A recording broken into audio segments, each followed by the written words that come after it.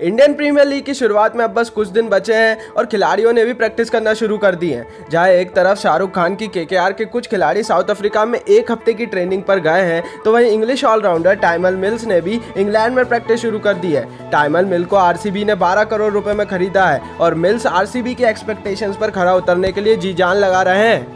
English all rounder Tymal Mills ने Chris Jordan के साथ प्रैक्टिस का अपना ये वीडियो सोशल मीडिया में शेयर किया है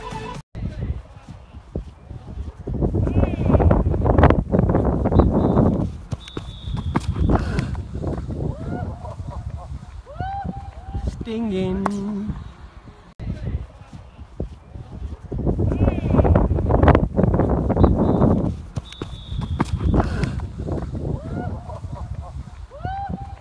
ding ding.